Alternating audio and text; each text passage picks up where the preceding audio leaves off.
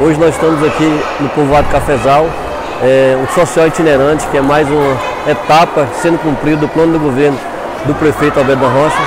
Então nós queremos agradecer o prefeito por estar nos dando essa oportunidade de trazer o serviço itinerante para a localidade rural do município. Isso é muito importante porque muitas pessoas não têm condição até financeira de se deslocar para a Barra do Choça para fazer cadastro único, cadastro no CRAS, no SAM, habitacional. Por isso que nós estamos trazendo o social itinerante para a zona rural. E hoje é o dia do cafezal. O cafezal está sendo beneficiado com o social itinerante. Visto que a comunidade às vezes tem dificuldade de ir até a cidade, então é prioridade nossa que os nossos serviços cheguem até as comunidades.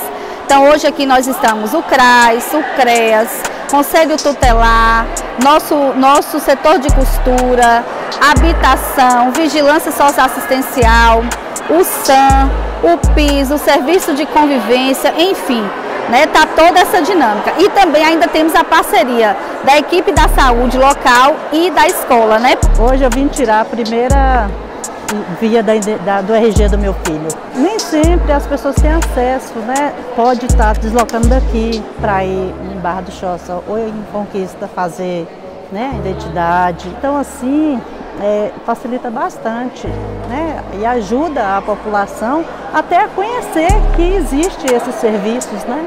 Hoje nós temos a emissão do RG, porque o número está muito grande de crianças e adolescentes somente com a certidão de nascimento. Temos também é, reservista, CAD único, que é o serviço do Bolsa Família, atualização cadastral do CAD único e temos também o cadastro do CRAS, né, são as famílias que têm necessidade de algum benefício eventual também. Tem nossa equipe técnica que veio também para fazer as visitas nas casas, caso seja necessário. É muito importante porque, assim, é, no meu caso mesmo, que eu, eu tenho um problema cardíaco, não tenho condições de trabalho, né?